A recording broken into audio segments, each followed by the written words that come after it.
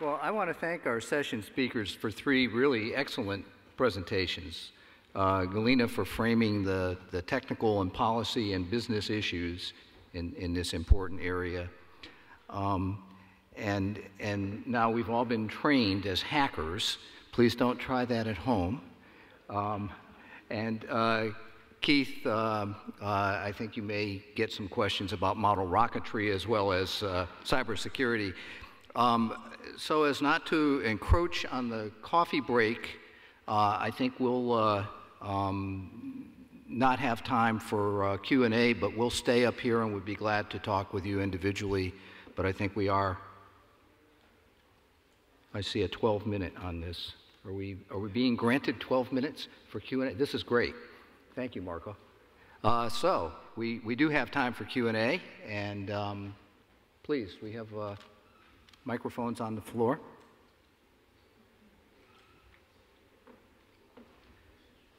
I know this is a lot to take in in these uh, three 20 minute presentations.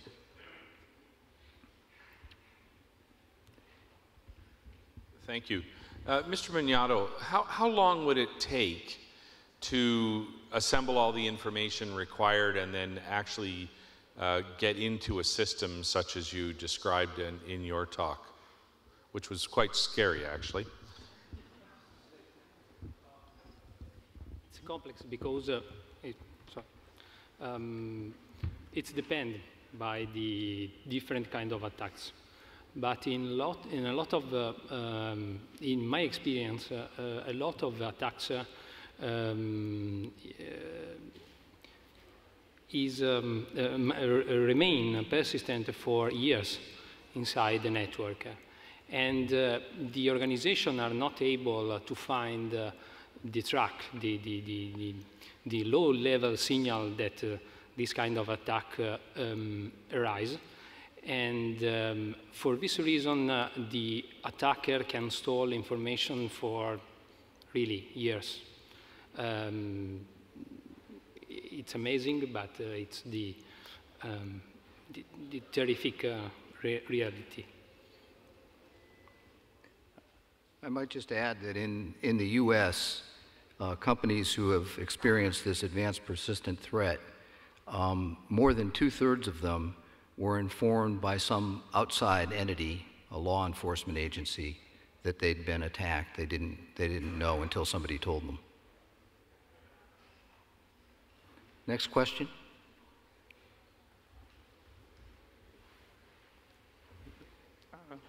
Thank you. I was wondering about the Stuxnet uh, worm uh, which you mentioned. And uh, it was very clever because it really broke the centrifuges by speeding up and breaking them up during the functioning. And essentially, it was hiding the, this misbehavior by the rootkit. So it came to my mind that in your research, Usually you monitor the communication network, etc. Is some of your company also assessing the idea of monitoring real shop floor functioning and operation in order to spot that kind of uh, threats? Um,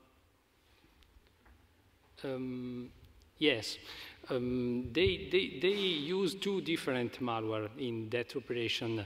The first one is uh, uh, called Beacon, and uh, it was uh, um, only uh, used to gather information about the IT infrastructure that they, they want to attack. The second one was called Bug, and uh, later was renamed in Stuxnet when um, Symantec have analyzed it. Um, the, the, second one uh, hid himself uh, using the vulnerability of the uh, Windows uh, uh, operative system and uh, um, using an um, stolen certificate, digital certificate. Um, practically, the, this vulnerability um, are everywhere all the um, automation system uh, are based on standard uh, operative system, and they use the standard uh, TCP/IP um, network to communicate. so using this uh, on-the-shelf technology, we introduce all the vulnerability that uh, this te technology has to the um, um, uh, manufacturing uh, uh, environment. Um, it is practically not possible to um, defend this kind of structure or in order to, or better, it is not, not possible to prevent this kind of um, uh, incident because the open standards are open and so um, all uh, um, uh, the, the, the, software can uh, reach the network, can send commands to this, to this probe or um, equipment.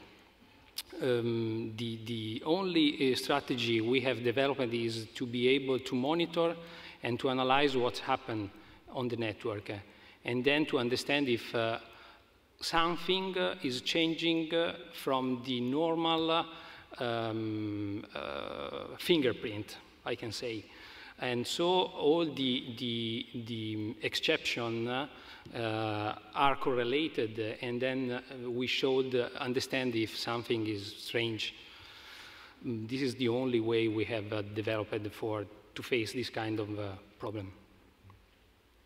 Galina, do you have a comment on that?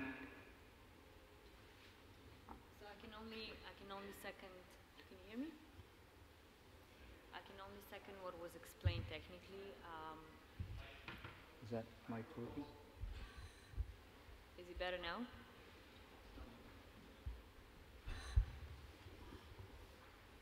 Can you hear me now? Okay. um, so I can only second what was explained technically. Um, this is the nature of the industrial control systems, and this is something that is applicable to any industrial control system out there. Now, what we can do in terms of the monitoring similar, similar to what Mr. Magnato explained, is we need to have capability of monitoring the network and correlating those events and being able to extract information that might be relevant to that. One of the challenges of that approach on the shop floor is the fact that some of those um, uh, protocols are proprietary. And this is where the new research areas that Keith mentioned become very useful because we need to be able to do the packet inspection of those protocols in order to see what's normal traffic and what's not normal traffic. So this is one of the, uh, I would say, uh, very interesting research areas in the industrial control system space. How do we get that deep view into the networks, which is different in the enterprise space?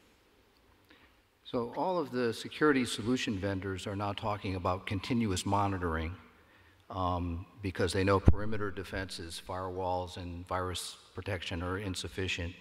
Uh, a, a, data point was published last week by the, the company FireEye. Uh, they installed their network monitoring appliances uh, in 1,200 organizations from 63 countries across 20 different industries and just monitored for six months. And during that six months, 97% of those organizations were breached. 25% of them were breached with what could be considered an advanced persistent threat. Of those, 75% had active command and control communications from their attackers. And during the six month period, could have been exfiltrating data the whole time.